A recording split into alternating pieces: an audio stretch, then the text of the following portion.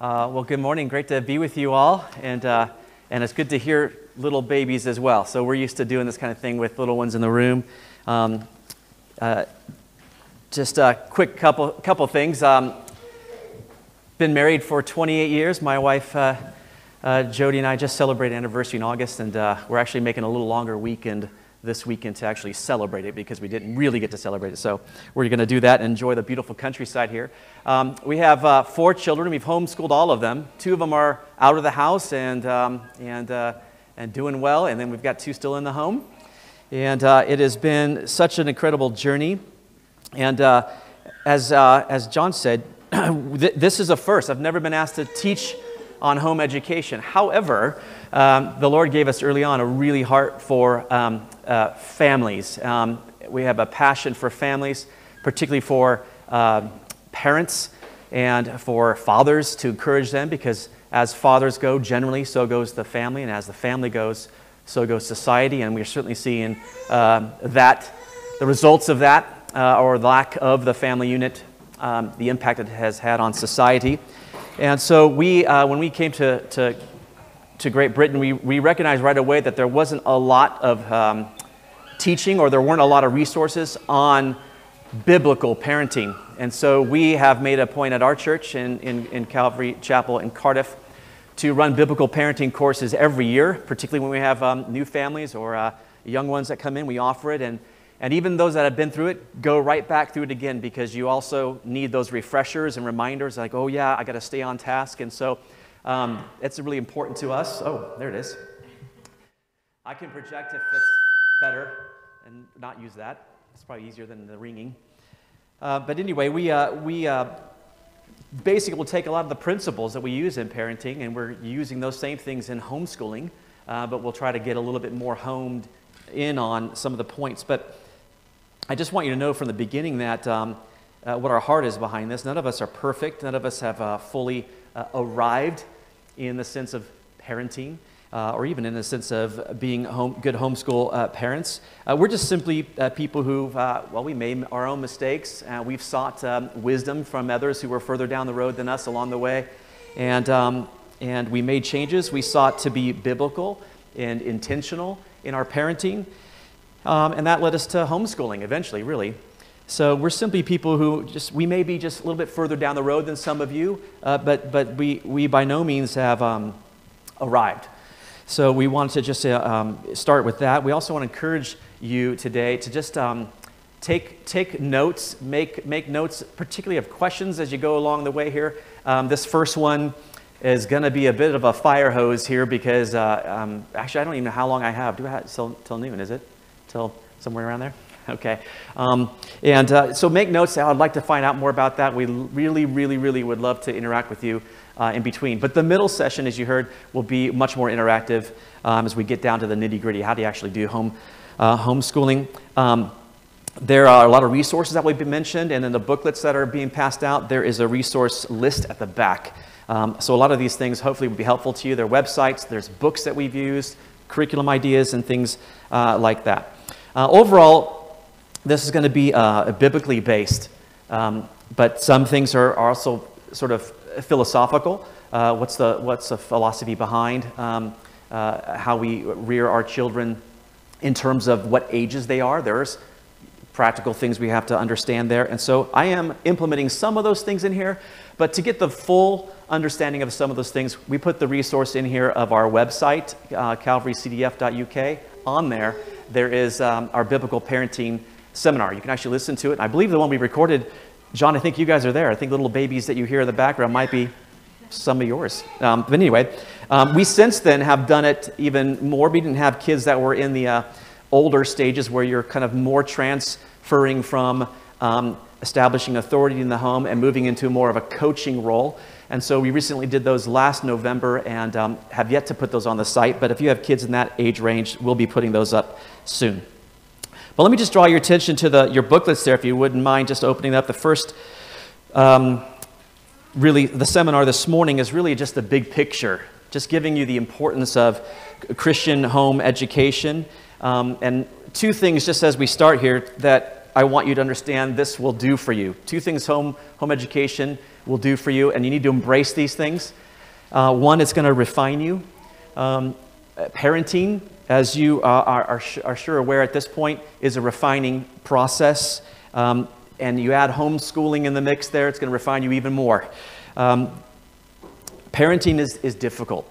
Uh, parenting is a relentless job. Our, our, phrase we use all the time, it's inconvenient because there's no convenient time to, to parent. It'll always inconvenience you if you want to parent your children the, biblically um, and to uh, correct when you need to correct and, and, and handle the kids in the proper uh, way. Uh, Jesus' words to deny ourselves, to take up our uh, crosses, to, um, to, to really um, give our all to Him. It, it's really the, the denying ourselves that will happen in parenting. Parenting demands your, your personal time. You're going to have undisturbed disturbed sleep, aren't you? Parents know that. Physical energy will be sapped, emotional uh, energy. Um, even you have to sacrifice wealth and dreams and aspirations, all for the sake of, of rearing your children. And as fallen people, we don't surrender things really easily, do we? So it will refine you. Um, but I think parenting is a great furnace that God takes us through to shape our hearts and to make us more uh, like Christ. And our children help us to surrender those objects of affection in our lives that we would maybe not uh, so easily surrender but we need to. Uh, so the second thing it will do, so that's where and we kind of put little blanks there. So if you want to fill it in, you can do that. But that was the first, and it'll refine you as a parent. The second one, it will instruct you as a parent. Um, not only will you have those options, uh, uh sorry, objects and uh, affections that interfere with your relationship with God uh, stripped away from you, but you're also going to receive divine instruction through this. You're going to be really relying upon the Holy Spirit and upon His Word. And so you will learn a lot. You're going to learn things that are valuable, you're going to learn things that are eternal, things that are essential. In short, if I could say it this way, you're going to gain wisdom. Why is this important? When it comes to parenting, that is what you are imparting into the lives of your children wisdom. Knowledge is what you impart to your children as their teacher, and there is a difference. Um, but they need the wisdom first. They don't get the wisdom from public school education. They might get knowledge, not the wisdom. So that's a very important fact, and I will get more into that a little bit later, but I just wanted to make a note of that to begin with. All right, two things you probably lack, uh, but we'll gain these through this process as well. And one is a greater fear of God. Maybe you have a fear of God, but you'll definitely get a greater fear of God. Proverbs 1 7 says, The fear of the Lord is the beginning of knowledge, but fools despise uh, wisdom and instruction. A fear of man, if I'm honest, fear of man is, is really one of the primary reason, uh, reasons that, that Christians in particular do not homeschool. It's the fear of man.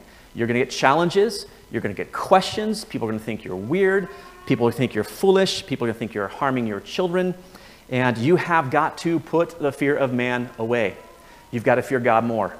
Um, we just think we, we need to meet the expectations of the world, and I want you to put those things away. You're not here to meet the expectations of the world. You want to do, um, you want to be obedient to the Lord. Now, um, you're going to face questions. Hopefully, hopefully, we'll give you some answers to some of those questions later on today. But it begins with the fear of the, of, of the Lord, and you must fear God more than a man. Um, one thing on that, too really, tr- really try not to become hostage to the idea of what the world thinks uh, schooling is or education is um, because it comes from the world system. We know the world system is a fallen uh, system. So, one thing it'll do for you, a greater fear of God. The second thing, um, confidence. We want you to gain confidence from this. Um, m- many times we're just not sure that we're capable as parents, and we're not sure that we're qualified as parents. And that's that's natural to feel that, you know, we're not capable of things when we embark upon something new. How many of you are already homeschooling? Just by, just by show of hands, already doing that? All right. How, how many of you, well, this will be new, uh, or you're thinking about it, or, okay, all right. Hopefully I don't discourage you today. but I am trying to be honest and open about things. It's, it's uh, parenting isn't easy, and homeschooling is not going to be easy. Uh, it, you will really, really, really have to make sure you prioritize your, your things correctly in your uh, life. All right, but anyway, homeschooling is really uh, an extension of the teaching and training that you should already be doing in the lives of your children just as a parent. You're just extending that. So, um, if you don't have confidence right now about that, whether you think you're not capable or qualified, listen, God gave you your children, which means God thinks you capable and God thinks you qualified. So, remember those things. All right. Well, at the bottom of your sheet, this is something we take from our parenting. I do a little pop quiz. Three P's of parenting. Uh, if you were to guess a P, what would you say is one of the P's of parenting? One of the things that we are to do for our kids in parenting. You can, you can shout that out if you think you have one. Protect, definitely. Protect is one of them. Obviously, we're supposed to protect our, our children. Uh, most of us do a good job with these, these things, by the way. Um, we understand that um, we want to protect our children from physical harm, um, but sometimes maybe we're, we, we, we, we're not sure about the psychological dangers that are out there. And we do need to protect them from those things and the spiritual harm as well. All those things lump into to protect. What's another one, would you say? Provide, I hear provide. Absolutely, you want to provide food, shelter, clothing, all those things. Those are the most common ones. And most of us do a good job at those things. But there's a third one, and this is the one we maybe don't necessarily do as a good a job as we should. What would you say that is?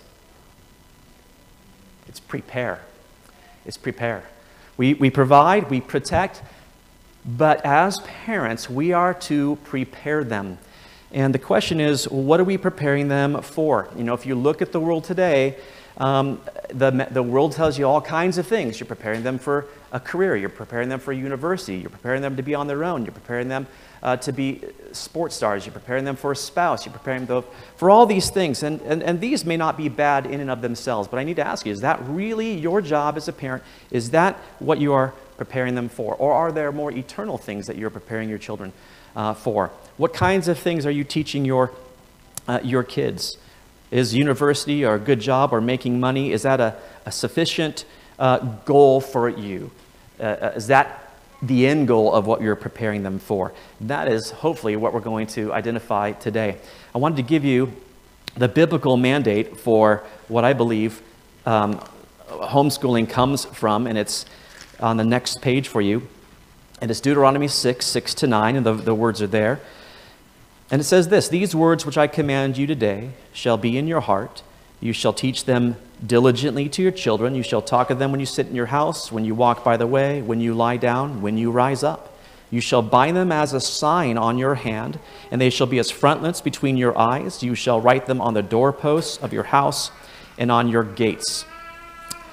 Uh, we biblical parenting class we do we call it uh, biblical parenting 6.7 it's from the deuteronomy 6 7 uh, there but god has established in his word right there that parents be the primary okay the primary source of their children's uh, education. And it comes um, straight from the word of god. Now right away some people might be thinking well this is god's mandate in the old testament. Uh, it's, it's to israel.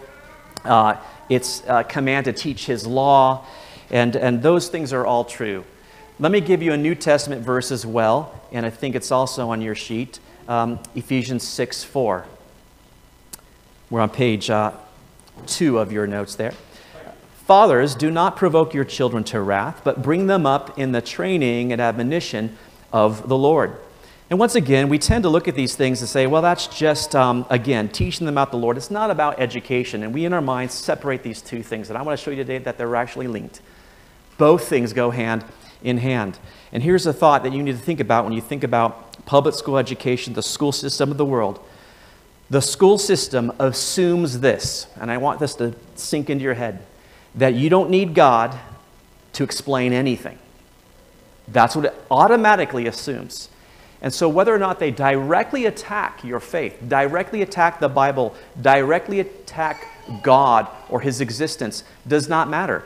It just assumes you don't need God to understand math, to understand science, to understand relationships, right? And so, you need to understand that this world system, the school system, operates under an atheistic, humanistic worldview. And so, if you're a Christian and you send your kids into the public school education, uh, school system, but you want to be faithful to God's mandate here to teach them to, to um, obey his, his word, then the job on you is even greater. You're going to have to have them come home, sit down, tell you everything they learned, identify everything that did not include God and His Word in it, deconstruct that secular worldview, and rebuild a biblical one. That's a lot of work. A lot more work than if you were to build from the ground up the biblical worldview that your children need.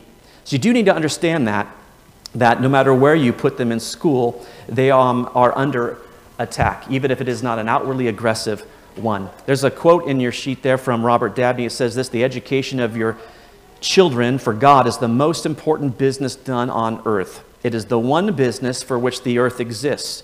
To it, all politics, all war, all literature, all money, all money making ought to be subordinated, and every parent especially ought to feel every hour of the day that next to making his own calling and election sure, this is the end for which he is kept alive by God.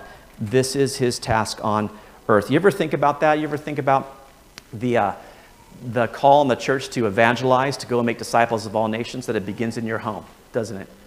It begins with your own children. That's where it starts. It's great if we go out there and we focus on evangelizing uh, the world and we put pamphlets in all the mailboxes of, of but if, you, if you've ignored that in, in your own family, then you have missed the whole point. So remember that the biblical mandate to train up your children in the nurture and admonition of the Lord and to teach your children and you sit and when you walk and when you sleep and all those things. That means it's a constant, constant lifestyle of teaching your kids the truths about God. And that includes all the, the things that happen in education. You want to all, have all those things coming from a biblical perspective. Now, here are some common objections that come from our confusion, I think, over our role as parents. Uh, we confuse the things that we should protecting them from uh, with the things that we should preparing them for. So when we looked at those three P's, we also think provision is related to simply meeting their, their earthly needs, when I think it's far uh, more. So here's one of them that kind of falls under the provide. I've heard, I've heard this a lot. Our kids need a proper education if they're going to succeed in this world, and if they, they can't get that at home, so aren't we failing to provide for them and also setting them up to fail? Isn't that my job? I'm to provide for them.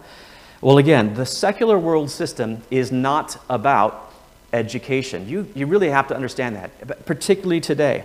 It's about indoctrination. That's what it's about. It is social engineering, it's social progressivism. That's what's happening. And so your kids are not getting education. In fact, they're being lied to today. They're not even being taught biology, are they? So you, you got to wake up to the, the, the, truth of the education system uh, today. Uh, I mentioned earlier that your job as a parent is to, uh, to give them wisdom. Do you remember that? And I just want to read from Proverbs chapter 2. If you have a Bible, you can turn there, but I'll just uh, read it uh, here. This, uh, Proverbs chapter 2. This is coming from the wisest man who ever lived, Solomon, it says, My son, if you receive my words and treasure my commands within you, so that you incline your ear to wisdom and apply your heart to understanding. Yes, if you cry out for discernment and lift up your voice for understanding, if you seek her as silver and search for her as for hidden treasures, then you will understand the fear of the Lord and find the knowledge of God. For the Lord gives wisdom, from his mouth come knowledge and understanding. Very simple uh, passage there, but it tells us something. It tells us this that the Lord is the one that gives wisdom. The Lord gives wisdom. And the Lord's not given the wisdom to the teachers in the school, the Lord's given wisdom to you as a parent. And it's your job to pass that on to your uh, children. Why? Because they need the wisdom in order to apply the knowledge. They also need the wisdom in order to be able to discern fact from fiction don't they? They're getting a whole lot of fiction in the schools today, and they need discernment. So, knowledge is what you want to impart to your child as a teacher. So, if you stick them into that secular world system, remember they're not getting the wisdom, they're just getting knowledge, and they won't be able to uh, discern what they're hearing, whether that is a biblical thing, whether it's not. Your job is to give them the wisdom they need so they can discern those things. So, that's one common objection. Another one, uh, that you hear a lot and kind of falls under the uh, prepare, but it's really a protect because it's a confusion thing. I've heard this one a lot. Well, our kids need to be salt and light. Our kids need to be salt and light. So they need to be out there. We have to prepare them to be salt and light in the world. So we want them out there interacting, uh, to live in the world.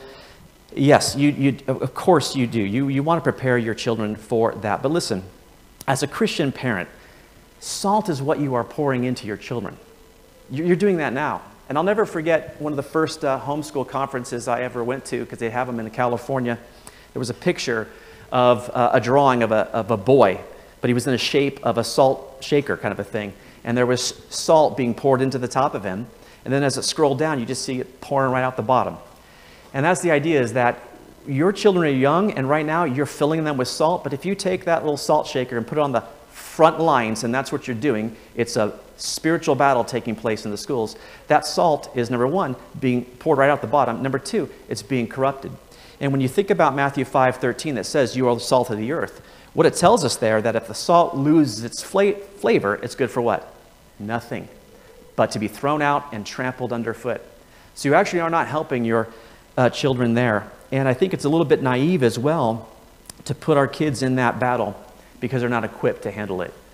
Uh, right now, your kids need the equipping, and you're pouring the salt in in these years. There will be a time when they're older, a lot older, where they'll be able to handle those um, aggressive attacks and the arguments and things that will uh, they'll come uh, come from. But I, I, think you at this stage in your in your life, when you've got these young ones in in your home, you are giving the wisdom to them, and you're pouring that salt in, and don't let it go and get um, uh, lose its flavor because then it's good for nothing. There's a uh, old Chinese proverb that says one generation plants the trees and another gets the shade. You ever heard that? And I, I think about this. I think about as parents, what kind of trees are we planting uh, for our, our children? How are you going to protect them from the scorching winds and the heat of this world? You, you have to protect them. And so people say, I'm preparing my child to be in the world, but really you need to be protecting them at this point. So that's a, a, confuse, a confusion over their job as a parent when people give that uh, objection. Another one is this one, and this is probably my favorite. What about socialization? And I just love that. It's probably the number one what we get. And when they, when they say that, um, I'm really excited because they say, well, hey, let me just ask, aren't you worried about socialization? To which I say, yes, that's why I'm homeschooling my kids. exactly. Because what you do in a school system is you put them in there with their peers with a whole bunch of immature kids their same age, the same age that lack knowledge, that lack wisdom, and they're all influencing one another. So, how is that good? That is not good. Um, uh, you don't want them to be in that situation. Um, that's the school system. And so they're teaching one another, they're learning one from another, um, and they're all in the same age group. But as a homeschool, you homeschool your child, here's what's so important you are the primary influence in their life. They're in, interacting with you primarily. But you're not locking them up from the world. They don't interact with nobody else. You know, you put them in the broom closet and that's it. That's the last year.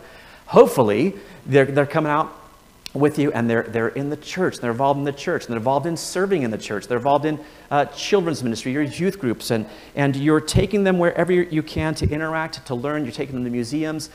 As a parent homeschooling your kids, you have the freedom to do that, to let them interact with more people, but under your guidance and influence.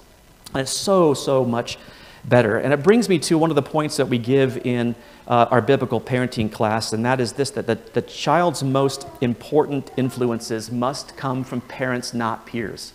It must come from you. They'll have influences from peers, but the most important influence must come from you as a parent.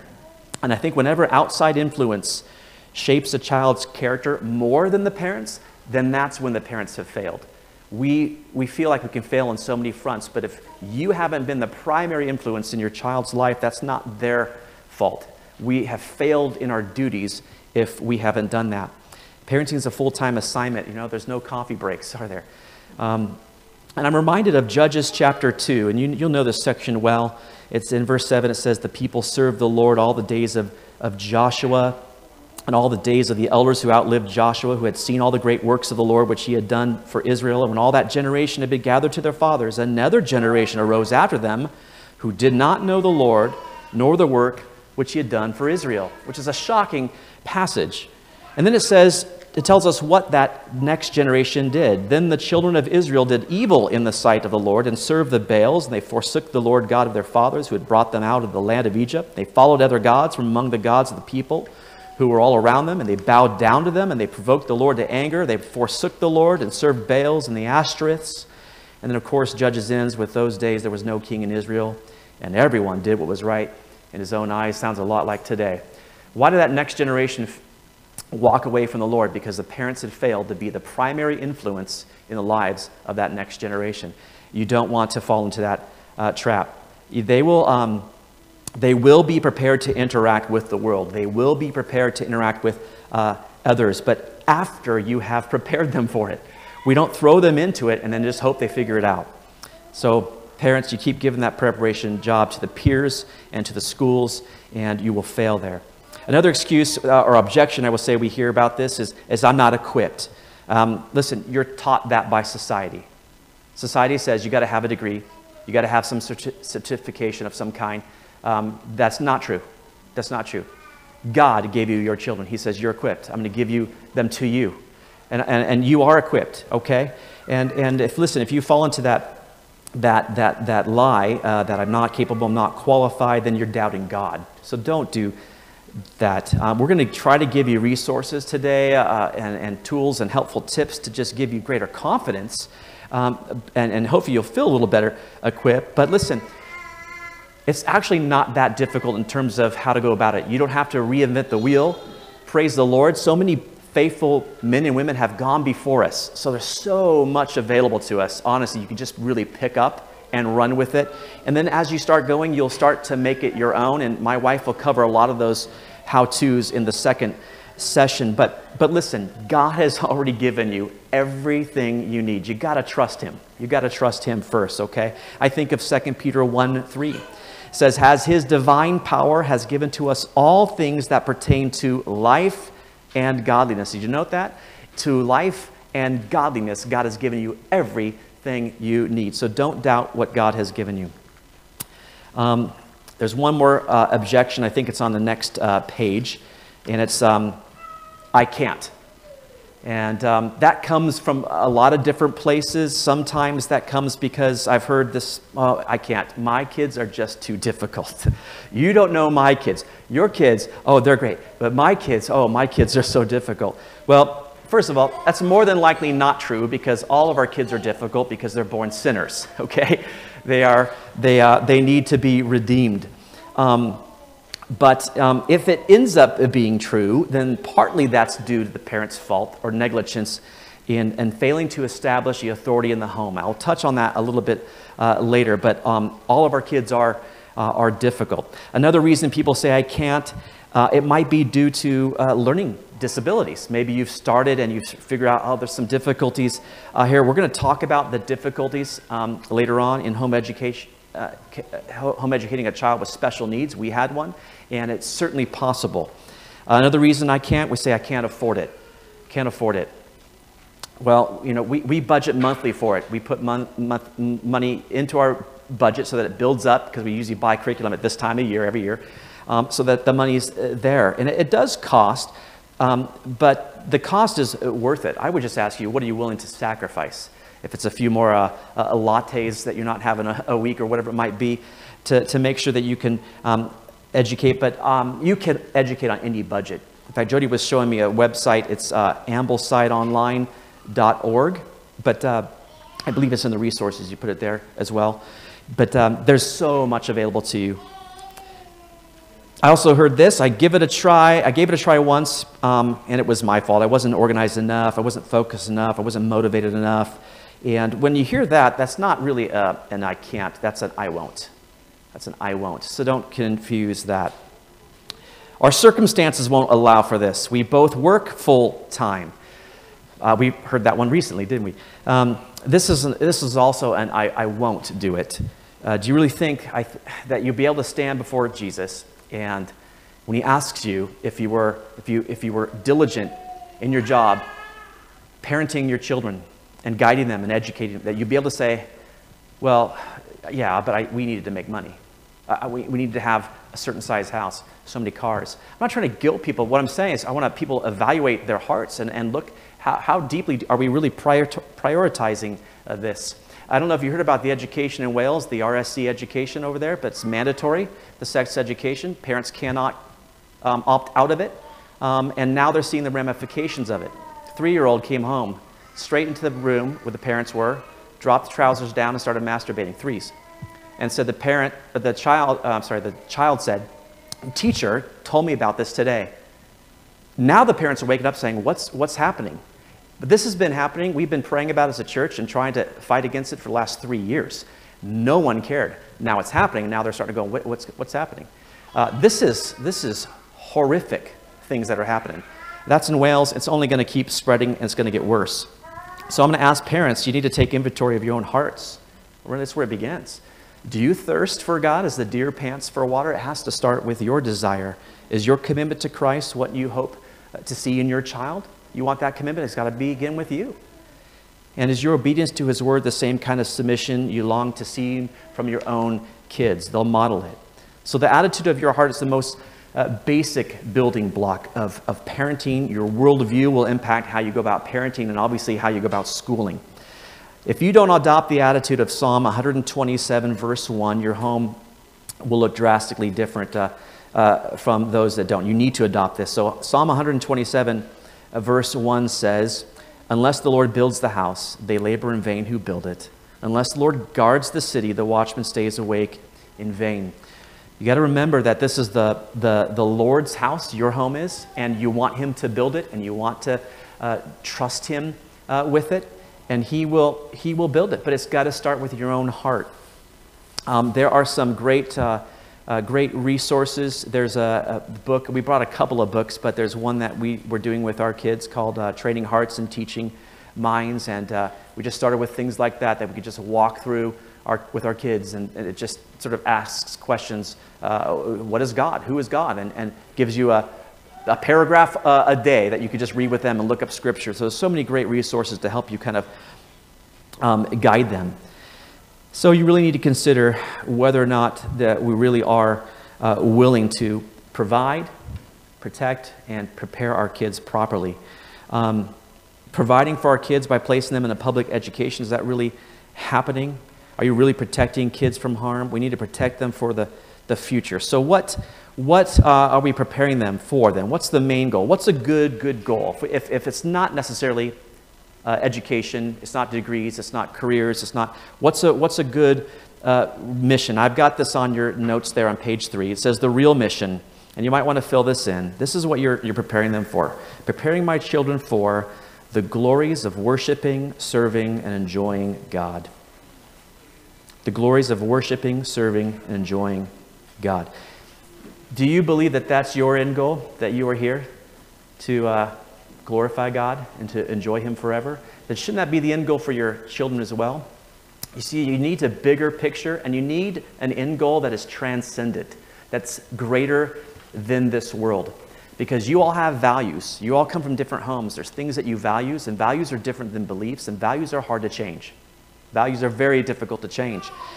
And so, why will your kids necessarily pick on your values unless they are something that's transcendent, greater than this world. Many people, many uh, people go the opposite direction to their families because it didn't have the same value. They saw a lack of the value or they saw the hypocrisy in the values in the homes. So you want your kids to value something greater than you, okay?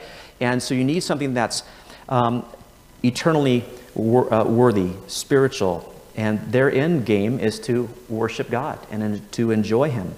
And this is best accomplished when we as parents take on that primary task of, of educating our kids and instilling in them the biblical worldview so that they understand that, that even math and even, even science really reflects the wonderful wisdom and creative power of God. It reflects, you know, that God is a God of order and, and precision, and you're teaching them all these things as they're learning about the things that they need to, to, to learn about. Um, God is is not simply someone we want our kids to know about. We want them to know Him, don't we? So it starts there. How do we prepare them for this? This is a big mission. How do we, how do, we do that? If that's our ultimate mission, then what's a better immediate mission? How do we get to that? Well, you want to teach them to fear God and obey His commands. You want to start there. Teach them to fear God and obey His commands. That's a great immediate um, uh, mission. You want to hear, really, to have the heart of David, who said, in Psalm 40, verse 8 I delight to do your will, O my God, for your law is within my heart. So, how do you uh, begin with that? Well, this, is, this takes the training. This is the, the, the training part of uh, your role as parents. Ephesians 6 4, we looked at earlier, said, Your fathers do not provoke your children to wrath, but bring them up in the training and admonition of the Lord.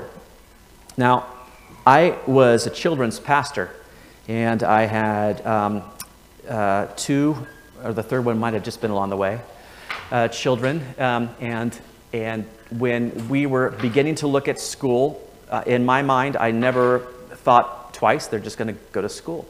But my wife had a cousin who was homeschooling, and they were great kids, and they were great family, and I loved being around them. And my wife came to me one day and said, I think I want to homeschool the kids. And I went, what, is, what are you talking about? I just thought, that's a weird thing. What do you mean? Um, but anyway, I, I, I, I, gave in. I said, well, okay, yeah, I guess you want to do that. They're, they were young, you know. I said, you know, you're not going to ruin them that bad, you know. They're, and so I, I, said, go ahead, I'll let you do it. And so for years, she, um, uh, and it was very basic, and most of it was happening while I was at work. Um, but she would go to these homeschool conventions regularly with her cousin just to kind of get refreshed. And one year she said, I really like you to go. I really, in fact, I think you said it a couple times, but I just couldn't fit it in with ministry. And so one year I said, I really like you to go. So finally I said, okay, all right, I'll go. I went to the first session, which is kind of the big one, and they have all these breakout things. I went to the big main session. And the speaker so convicted my heart about my negligence in leading my family. I was a children's pastor. I thought, well, my kids are getting it. They're at church all the time. They, I totally get it. I wasn't doing that in the home. I wasn't training them in the home. And I certainly wasn't backing my wife up. I was like, well, that's your thing. You kind of do that. I was in tears, you know? And so it took me a few years to really kind of get on board. And then once I did, I realized, oh my goodness, how was I, how was I missing this? I was even sort of separating the sort of uh, spiritual from the home. It's so easy to do. But we've got to take this training idea right into the home. You, they're not going to get that just at church. It's great that we have church, and those things are to support the families, but the family, it must come there. And so that's why it says, You fathers, fathers, do not provoke your children to wrath, but bring them up in the training and admonition of the Lord. Now, those two words are important. That word training, paideia, is Christian discipline that regulates character, instruction, which aims at increasing virtue. That's what that is. Another way to uh, phrase that, and there's a little blank there, it's formative discipline. That's what it's called formative discipline. It's for a purpose of forming. It forms or it influences someone's development. That's the idea. The other word, the admonition word, that is the uh, corrective discipline. And you probably all know what that is. Okay, you're correct or you're counteracting something harmful. Well, those two things are used in your, your training. I'll primarily look at the uh, formative uh, discipline uh, today, but we cover the other one in our parenting. But you need to understand that um, the, the, the, the children, when they're born into your home and they come in there, you have, you're overwhelmed. You have so many so many things. Your, your mind's already thinking about university. Your mind's already thinking about you know, all these different things. You've got to bring it all in. What's a good immediate goal? This is the authority stage, is what we call it. Usually zero to four, five ish, somewhere, if your children are in that range, your main goal, your one job is to establish your authority in the home. So, so very important for kids to learn that because you are never not under authority. You're never not under authority. That's just part of being human. And with parenting, God has given you authority. He has. Um, you have no autonomous parental authority. You have representative authority. You represent God in their lives, and God has given that to, to you. And so, the job of the Christian parent, then, and there's a little blank there for you, is to make the invisible authority of God visible in the lives of your children. That's what your job is. It's, it's, they hear about God, and he, he has this invisible authority, but you want to make that visible in their lives. That means every time that you exercise authority as a parent, it is supposed to be a beautiful picture of the authority of God. And you'll screw that up. You will, because you're fallen just like me. You won't do that perfectly. Um, you'll exercise God's authority out of anger. You'll do it out of impatience or irritability or even self righteousness. And you'll be demanding and you'll, you'll do those things because you're fallen, but you need to push past that. Don't give up. Continue. And it's so important because your kids are born believing two lies, and they come from the world, and you need to get rid of these lies early on in their life. And they're here. Lie number one is they believe they are autonomous. They're born believing that they're independent, and every time that you have a, a battle of wills, they are saying this You will not rule me. That's what they're saying. I rule me. Uh, but they are ruled, and it's imperative that they come uh, to learn and accept that, that they have to come under authority. The second thing they believe is that they're self sufficient. They believe that they have already everything inside themselves that they need to, to be and do what they're supposed to do, and they don't. So those are two lies. And if they continue to believe those lies, you don't, you don't touch those at all. They're going to suffer harm. And so you want to make sure you address those things. You want to teach them to live under authority. And that is a form of protection, isn't it? It is. Teaching your children to submit to authority is actually a positive thing. It's a positive thing. It teaches them, number one, there, that they will always live under authority. Always because you're never not under authority. God is never going to relinquish his authority to them at some point. Oh, you've reached, okay, there it is. They're always going to be under authority. And it's so important to understand that. Uh, someday they're going to have a job and someone's going to be under authority over them. It's going to just continue. They're never not under authority. Number two, it's going to help them to accept your authority as they grow up. Number three, I think it's on the next page there, is that they will gain freedom which comes from living according to God's design and authority. Listen, when we accept that and, and we, we submit to God in that way, that's a freer way to live, isn't it? Um, and then also, they'll not grow up believing a lie. That's number four. So, again, this is just sort of giving you a, a, a, a, quick snapshot of that authority stage. There's much more that we talk about. Uh, again, you can listen on our website, calvarycdf.uk. The link is um, on the back about that authority stage, but I really want to fo- focus today, especially with time coming to an end, on the training stage. And that's really what you're talking about with the schooling ages. It's 4 to 12, somewhere in there. And um, in this stage is when we build on that, that foundation that we've laid. Um, and we focus on character development, and we use the formative discipline and we use the corrective uh, discipline. And with the formative discipline, uh, where do you start? Well, formative discipline begins with understanding that your child's greatest need is regeneration. That's what they need. When you look into that child's eyes, you know, you see something there. What do you see? You know, they're, they're, they're a lost person, they're, they're, they're a sinner, and they need regeneration. And so you need to, number one, there, consider the, the condition of your kids. You know, they don't disobey because they're just cranky or tired or hungry. Uh, they disobey because they're descendants of, of Adam, like you and I. That's why they disobey. And number two, you need to instruct your children then in the great matters of salvation. We want them to understand that behavior is, is not the issue. We can get so sidetracked as parents about the behavior. Mostly we do that because we want them to behave well in public because we don't want to look bad. We don't want to look like bad parents. Um, but listen, behavior is not the issue, it's the heart. And you always want to bring it back to the heart. We want well behaved kids, but ultimately we want that because it's come out of the heart, not just so that we, we look good. And uh, we talk about that a lot uh, more in the um, parenting things, but I just wanted to give you an idea uh, there. So you want them to begin internalizing what you've been uh, teaching.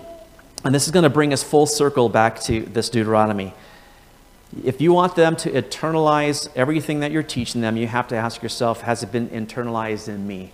I mean, ha- have I really taken these things to heart? So this is first session is really a challenge to you parents. That's all I'm trying to do is give you the big picture. Say, listen, you're about to embark on something, and it's it's it's difficult. It's not impossible, uh, but your whole heart needs to be God's, completely.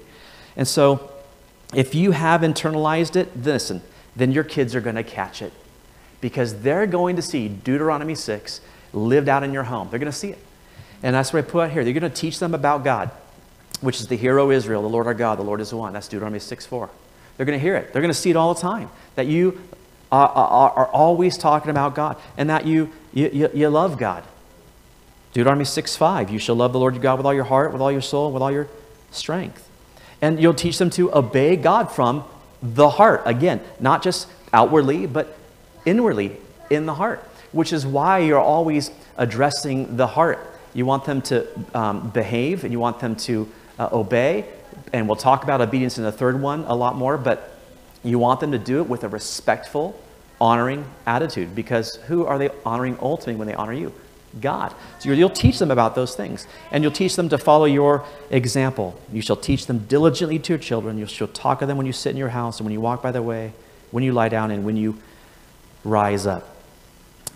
So there's so much more that we could say on this subject, and, um, but it really begins here. You got to remember that home, home education is firstly about educating your children in the great matters of salvation.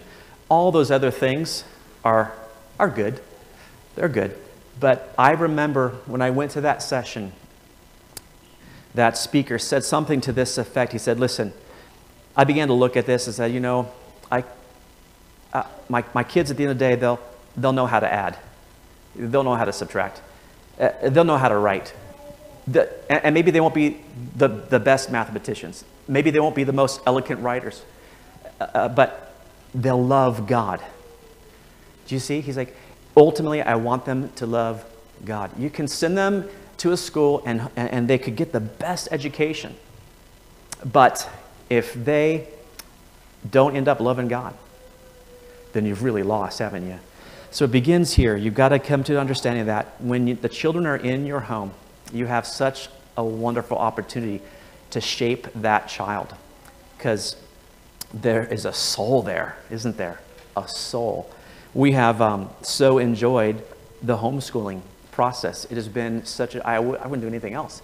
It's been such a joy. My wife has done the, the lion's share of the work, obviously, but over the years, as my schedule has changed here and there, I've been able to take on more and do more little bit of things. I've always done the read alouds and things or the projects, or I'm the one that cuts open the frogs and does those things because Jody's like, yeah, you have that one, right? But, but those things have been such a joy to just do along. You can do all these things at home. It's so easy to do. But even with that, you're always, you're always shaping character and addressing the heart. Even, even just this happened this weekend as you're preparing for this. You know, his son's supposed to be doing some science thing, and, and he had it in his own head that he wanted to do his own way, and, and he had already decided he just didn't want to do it. He's like, why can't I wait for tomorrow? Why can't I do this? It was all these whys. And then he huffed and started reading, oh, I don't understand it. Well, I knew it wasn't an understanding thing. I knew it was a heart thing because he already told me. Well, why do I have to do it now? I want to wait. I want to wait. I want to wait. And so we're able to stop and go, this is a heart thing. I need you to go off and get your heart right, and then we're going to do this the right way. And ultimately, he was able to get it done and do it. And so you have an opportunity to shape hearts through the process of learning, and that is the biggest thing you're trying to do. So just want to encourage you with a kind of a big picture here. We're uh, almost at the noon time, and so we'll uh, take that little break. Is that right? And then um, we'll come back for session two. Thanks, folks. We're happy to talk with you afterwards and answer any questions you might have.